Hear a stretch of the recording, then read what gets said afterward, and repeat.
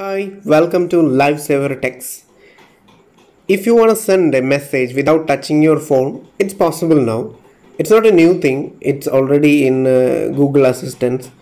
But Google Assistant updated its feature that now it's possible to send messages through WhatsApp or any other Telegram, any other application also. So let's have a look on that how it's working. I'm going to activate Google Assistant now. Send a message to Joseph.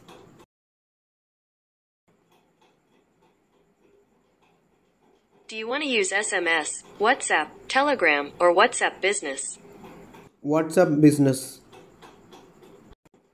Sure. What's the message? Hi Joseph, how are you?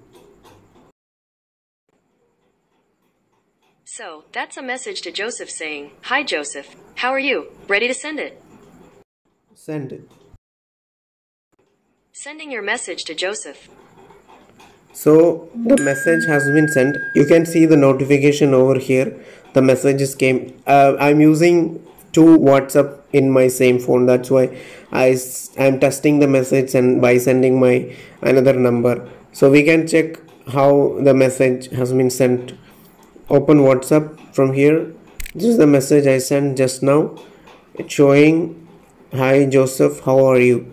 it's really working well sometimes it's not working well this is a great feature but the problem is if it, if there is a similar names and multiple times entered in your contact that time this option will not work properly so that is the only drawback over here and also in crowded place you cannot use this you know about that already i believe.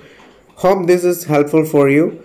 Thanks for watching. If you like this video please hit the like button and subscribe our channel for more videos. Thank you